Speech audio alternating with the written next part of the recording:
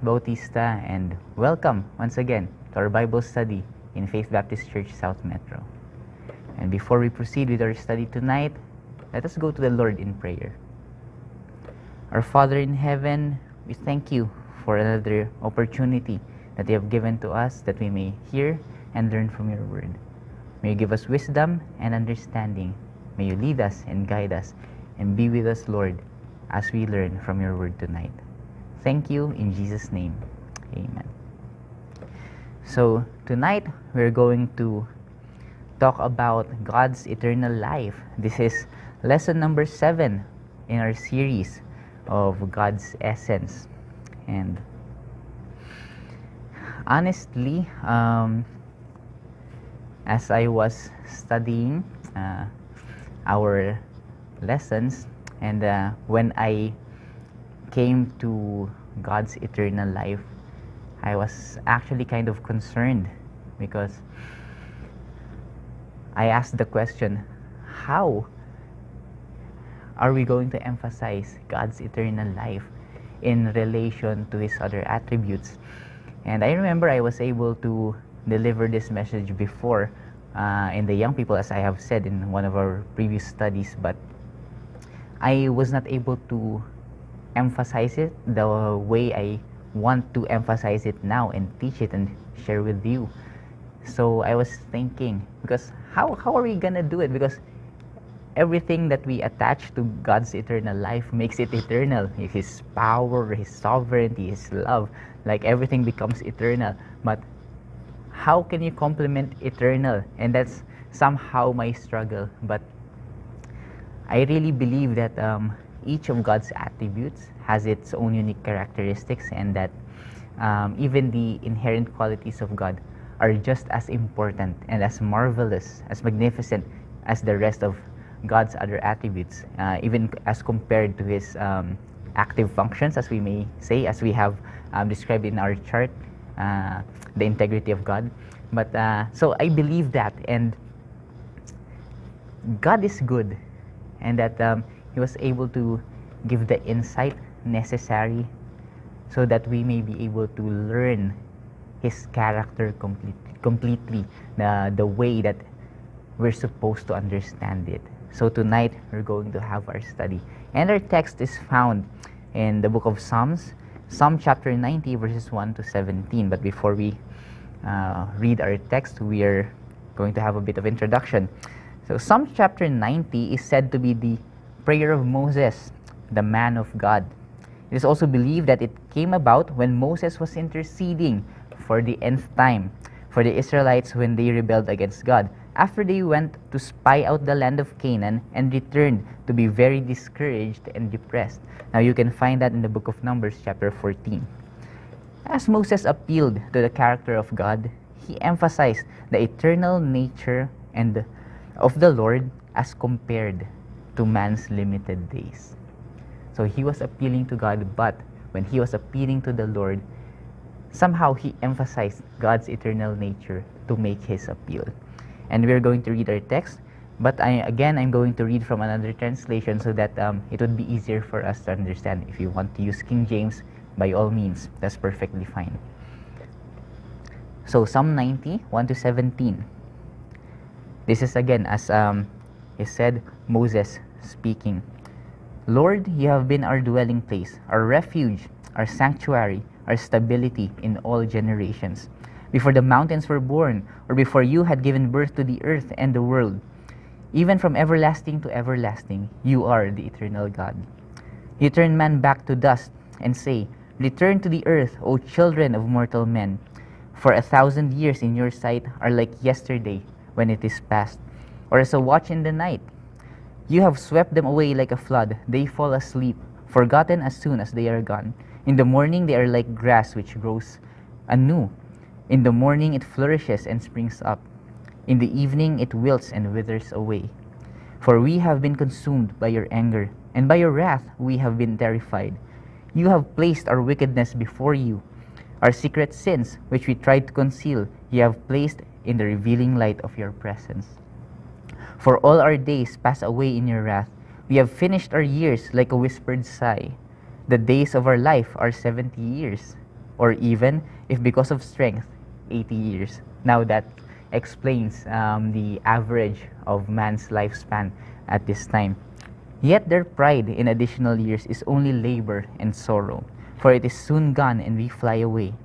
Who understands the power of your anger? Who connects this brevity of life among us with your judgment of sin? And your wrath, who connects it with the reverent fear that is due you? So teach us to number our days, that we may cultivate and bring to you a heart of wisdom. Turn, O Lord, from your fierce anger. How long will it be? Be compassionate toward your servants. Revoke your sentence. O satisfy us with your loving kindness in the morning now before it grows older or, or before we grow older that we may rejoice and be glad all our days. Make us glad in proportion to the days you have afflicted us and the years we have suffered evil. Let your work the signs of your power be revealed to your servants and your glorious majesty to their children. And let the gracious favor of the lord our god be on us. Confirm for us the work of our hands. Yes confirm the work of our hands. And this is a wonderful wonderful prayer of Moses. Imagine um, as he was interceding again for the children of Israel to God, that um, when they were actually um, questioning uh, God's intentions, because remember when the children of Israel spied out the land of Canaan and they returned, they had um, an evil report, and only Joshua and Caleb had a good report and were confident. And when they were um, giving their case, and Joshua and Caleb uh, said theirs. They actually wanted to stone Joshua and Caleb for being faithful and trusting in God. So this was a really difficult situation, but again, uh, we have seen uh, Moses um, appeal to God's character so that uh, he may be able to intercede for the children of Israel. But continuing, God is eternal life. He always was, always is, and always will be. There never was a time when God did not exist, and Moses understood this again. God had neither a beginning nor does he have an end. In Psalm 91 and 2, we have seen that. Because God is eternal, we have the assurance that he will always be there. Since his existence will never cease, so will the rest of his attributes, all that make up his divine essence. So, we're going to look at how God's eternal life or His eternal nature is emphasized and complemented by God's other attributes. So, let's see what we can learn tonight. Number one, eternal life and sovereignty.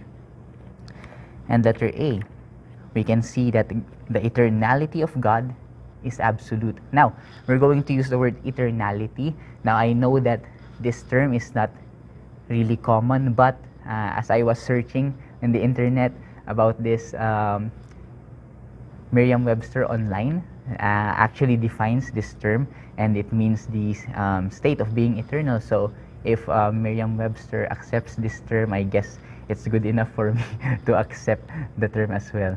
Okay, so uh, just may it may be unfamiliar to us, but uh, this will work uh, to to describe what we're talking about. So the eternality of God is absolute. Since He's sovereign, it's absolute, it's self sustaining, it's supreme, it's above all. In Job 36, verse 26, it says there, Behold, God is great, and we know Him not, neither can the number of His years be searched out. And Isaiah 46, 9 and 10, Remember the former things of old, for I am God, and there is none else. I am God, and there is none like me declaring the end from the beginning, and from ancient times the things that are not yet done, saying, My counsel shall stand, and I will do all my pleasure. And in 1 Timothy 1.17, this is a wonderful passage. Now unto the King, eternal, immortal, invisible, the only wise God, be honor and glory forever and ever. Amen. So, what does it mean that God's um, eternality is absolute? Well, that's why He is Alpha and Omega, the beginning and the end. In Revelation 21, verse 6a, And He said unto me, It is done, I am Alpha and Omega, the beginning and the end. Since His eternality or eternal nature is absolute, He decides what's the beginning And what's the end? Because he is not bound by time, he is eternal. What he deems to be the start and the finish will be what the last, uh, the start and the finish uh, that uh, would actually be. So that's how um, his eternal, uh, his absolute eternal nature operates. And uh, as it relates to the prayer of Moses, well, God is, let letter B, from everlasting to everlasting, meaning He has no beginning and no end. He would be the one to determine the beginning and the end. He's the one to decide because He is eternal and His eternality is absolute. But then, what does it mean to us? What personal application can we make out of it? Well, the life we have in Christ will absolutely continue for eternity without interruption. Since God's eternality is absolute, the eternal life that He has bestowed upon us the moment we believed in Jesus Christ will not be interrupted. Imagine if it suddenly be, um, becomes, if, it, if something suddenly interrupts the eternal life that we have in God, that would be problematic. So, since God's eternality is absolute, we can be sure that the eternality, the eternal life that He shares with us will be the same. And number two, eternal life and righteousness. What can we learn here? Letter A. God's eternality is perfect. Since His righteousness is perfect righteousness, His eternality is perfect. Therefore, salvation is perfect. The salvation that, that He has given us, the eternal life that He has given us, is perfect. Isaiah 45, verse 17. But Israel shall be saved in the Lord with an everlasting salvation. He shall not be ashamed nor confounded world without end. So we will not be ashamed of the salvation that we have. Why? Because it is everlasting and it is perfect. And in uh, Hebrews 5, verse 9, and being made perfect, he became the author of eternal salvation. So that's the author, that's the um, the basis of our eternal life. Jesus Christ who is perfect, God, who has perfect eternal life, the author of our eternal salvation and to all them that obey him. So, God's eternality is perfect. It is flawless. It doesn't have any um, defects where uh, it could suddenly uh, bug down or suddenly uh, be be disrupted like again we have said earlier so God's eternality is perfect. And how does it relate to the prayer of Moses and their people at the time? Letter B, the Lord flawlessly passes time. He is not bound by it. In Psalm 90, verse 4, let's read it. For a thousand years in your sight are like yesterday when it is past, or as a watch in the night. So, God, because He's not bound by time and His eternality is perfect, everything just passes by for him. He is not concerned and he is not disrupted or interrupted by time. So, what does it mean to us? What personal application can we make? Well, God's timetable flows perfectly. If God's timetable flows perfectly, so does His plans for you and for me. It's always on time, on schedule, because His timetable is perfect. And Number three, eternal life and justice. Letter A, upright is God's eternal nature. What does it mean? Upright, it is honest, it is it is um, fair. God's eternal nature. Um, Deuteronomy chapter 32, verse 40. For I lift up my hand to heaven and say, I live forever. God can fully declare it because it is right and it is fair for the one true God to live forever. Again, if God did not live forever, well, then he doesn't um, qualify to be God. And that's why God is the one true God because he lives forever. And it's just right for God, for the one true God, that he lives forever. Because if not, then how can he be the God that he claims to be? So that's why his eternal life or eternality is upright, his eternal nature. And it is worthy. It is worthy to abide forever. His eternality is worthy to, to abide forever. In Psalm 102, Verse 12 But thou, O Lord, shall endure forever, and thy remembrance unto all generations. He is worthy to endure forever. His name, His remembrance, His entire being. And letter B, uh, how does it relate to the prayer of Moses? Well, it is fair that man's time is but a, but a vapor compared to God's eternality. It's only fair because we might think, well, if God is eternal, why didn't He make eternal beings? Well, um, if we remember um, during the time in the Garden of Eden, man was supposedly created to be perfect and um, eternal, uh, immortal. But then because of sin, we started decaying. So it's only fair that man's time is but a vapor compared to God's eternality because he deserves that and we don't. And in Psalm chapter 90, verse 10, let's read that. The days of our life are 70 years, or even, if because of strength, 80 years. Yet their pride in additional years is only labor and sorrow, for it is soon gone and we fly away. So we really can consider actually the added years past 80 to be a blessing from the Lord. So we if we know someone who's past 80 or if we ourselves if there's someone watching who's past 80 we thank the lord for the time that he has given us and um, what application can we make from this principle we have a lawfully granted hope of eternal of eternity in christ despite our short-lived life on earth even though we live we, we um, would live um, just um, a few years several years in on this earth as compared to God, He has given us a lawfully granted eternal life. Since He deserved it, He can share it with us. And number four, eternal life and love. What can we find out? What can we learn about this? Now, this actually also gave me uh, a little trouble in really contemplating and searching God's Word. Letter A God's eternal nature is generous, it overflows it's not like his eternality is um, uh, motivating God to give. No, it doesn't mean that. But the eternality of God, its entirety, his eternal nature, is plenty. So it's it's um it doesn't run out. The supply of his eternality, if we can say that, never runs out. It overflows. It's generous.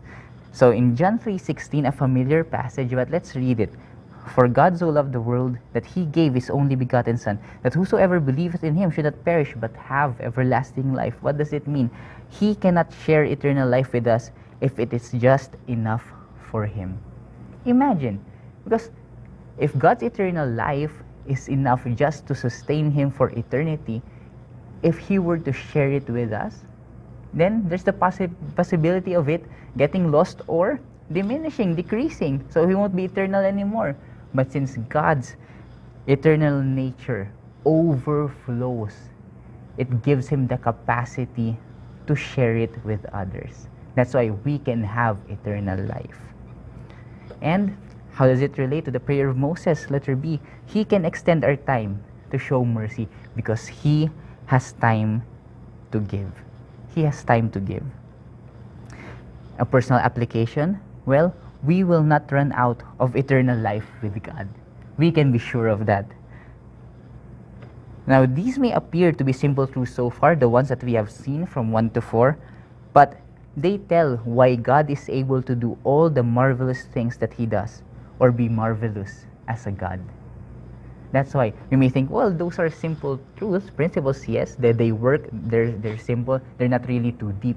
I understand that, that's true, but this, these truths explain how God is marvelous and how he, how he is able to do all the marvelous things that he does because of these attributes and how they work together to perform all of the great works that he does and to become uh, and to become the great God that he is these attributes that make up his divine essence okay so moving on number five eternal life and omnipotence.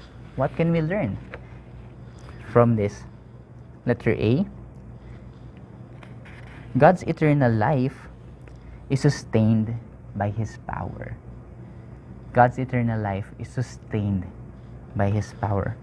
Revelation 11, verse 17, saying, We give thee thanks, O Lord God Almighty, which art and wast and art to come, because thou hast taken to thee thy great power and hast reigned. It's like God is God's eternality or his eternal nature is fully charged all the time because he is omnipotent. And letter B, what does it mean? Uh, how, did, how did it relate to Moses' prayer? Well, God is sustained from everlasting to everlasting in Psalm 90, verse 2. That's why he can be from everlasting to everlasting because he, his eternality, is fully charged all the time. So, what practical application can we make or personal application? Well, our Heavenly Father will not suddenly disappear. Imagine, imagine if His eternality suddenly runs out. Again, it's one thing that His eternality is plenty enough, it's vast enough, but it's another thing for it to be powered. Because I believe that God's God's um, essence is also powered by His omnipotence, and every uh, attribute of God is powered by His omnipotence. It's enabled by His omnipotence. As we have seen, it's one of the inherent um, qualities in God's attributes. So our Heavenly Father will not suddenly disappear. We can trust it because He will not suddenly lose out of, He will not suddenly lose power, and uh, His eternality won't go low bat. Okay. And number six, eternal life and omniscience. How do they relate? Letter A, God's timing in all eternity or throughout eternity is precise. In Ecclesiastes um, chapter 3, verse 11, I'll be reading from a different translation so that um, we would be able to understand it fully. Ecclesiastes 3:11 He has made everything beautiful and appropriate in in its time. He has also planted eternity, a sense of divine purpose in the human heart a mysterious longing which nothing under the sun can satisfy except God. Yet man cannot find out, comprehend, or grasp what God has done, his overall plan from the beginning to the end. Now, again, because in the King James it says uh, um, he has set the world uh, in his heart, in man's heart. So the world actually refers to eternity. That's what it means. That's what um, the world means in the King James in another translation. Just so that we'd understand properly. And in Ephesians uh, chapter 1, verses 3 and 4, Blessed be the God and Father of our Lord Jesus Christ, who has blessed us with all spiritual blessings in heavenly places in Christ, according as he hath chosen us in him before the foundation of the world, that we should be holy and without blame before him in love. He hath chosen us in him before the foundation of the world, and he has given us all of these blessings way back in eternity past. So God's timing in all eternity is pre- precise because He knows the right timing and He has lived in eternity. He is living in eternity. That's why He knows the perfect timing. And um, as in the prayer of Moses, letter B, the timing for every life is according to His schedule, not ours. In Psalm chapter 90, verse 12, so teach us to number our days, that we may cultivate and bring to you a heart of wisdom. It is God who decides our time on earth, and His timing is perfect. He knows from eternity. Again, because it's one thing that He knows everything, but what if He is not eternal? Let's think about it. What if He is not eternal? Then there is no way for Him to know everything from any time. But since He is eternal, he his timing can be perfect. He can know because he is eternal and omniscient. And a personal application, well, a short life can be a full life if spent with the one who gives fullness of life. I'm gonna try to say that again. I was kind of a, little poetic there, and just that's just me. It, I may not be. A short life can be a full life if spent with the one who gives fullness of life because He knows our time on earth. And number seven, eternal life and omnipresence. Letter A God is eternal everywhere. Now, that's again, there's more meaning to it than that. Well, let's read Deuteronomy chapter 33, verses 26 to 27. What does it say? Let me turn my page. Okay. There is none like unto the, uh, unto the God of Jeshurun, who rideth upon the heaven in thy help, and in his excellency on the sky. The eternal God is thy refuge, and underneath are the everlasting arms, and he shall thrust out the enemy from before thee, and shall say, Destroy them. So God is in heaven, but also beneath on earth are his everlasting arms. And that means that his everlasting arms, wherever we are in the world, will remain everlasting, the eternal God. So, this actually means that the Lord is not just eternal in heaven.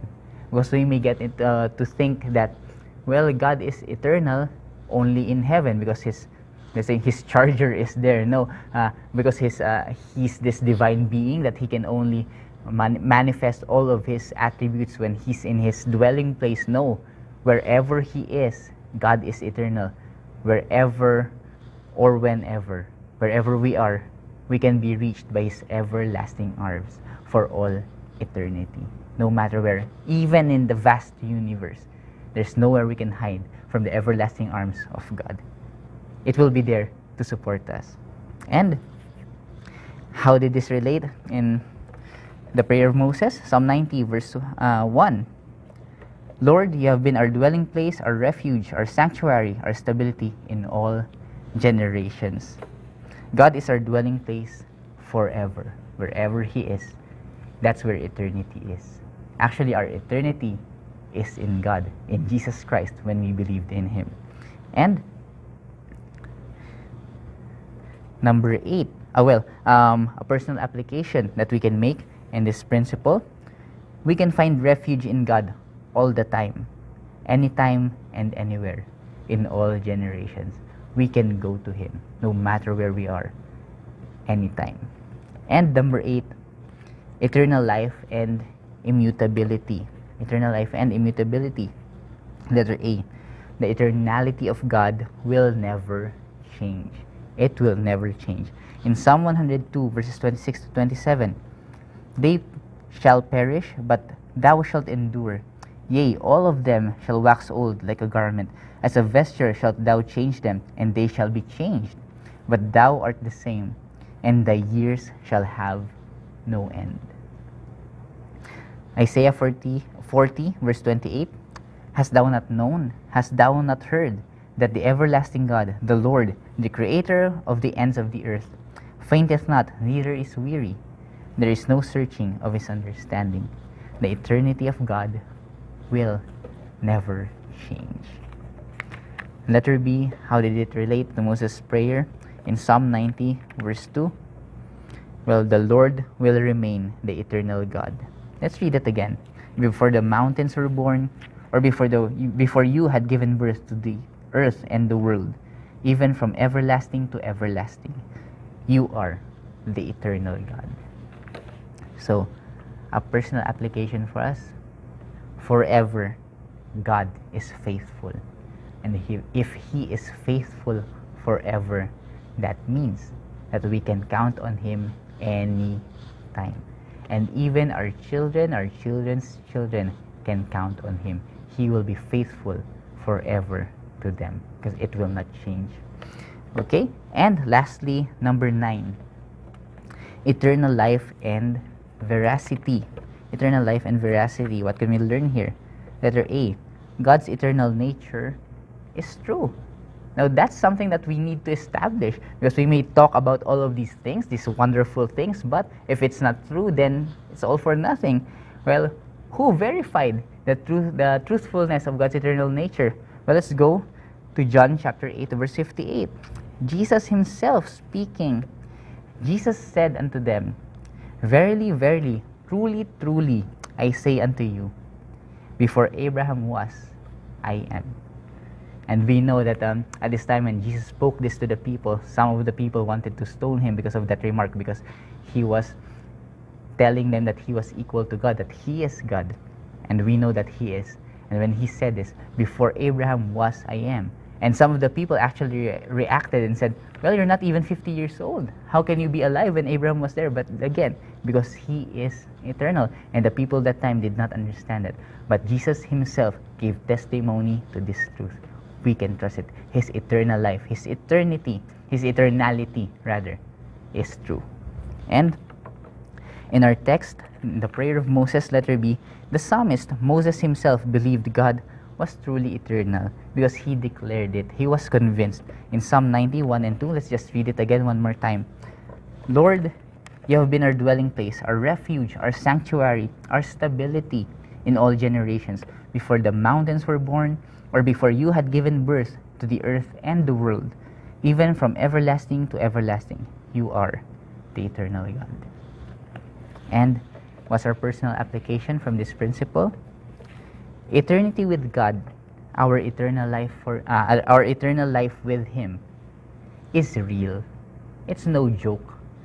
It's it's not um, it's not a ruse. When the Bible said that we can have eternal life with Jesus Christ, that's for sure. And if we believed in Him, we're sure that we will spend the rest of our lives for all eternity in heaven with God. And to conclude, everything that God is has always been and will always be in our lives. We can always count on the immortal God that will never leave us nor forsake us. There will never be a time that He will not be there when we call on Him. We can just call on God's name and He'll be there. He will listen. Shall we pray? Our Father in heaven, thank you for who you are. Thank you for being our eternal God. Despite being the marvelous eternal God that you are, you are also a personal God to us. And we thank you because you are willing to share eternity with us.